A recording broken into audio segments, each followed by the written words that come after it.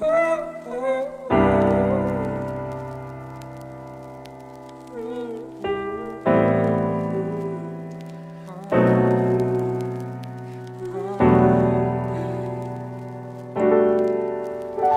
didn't have the strength to call you.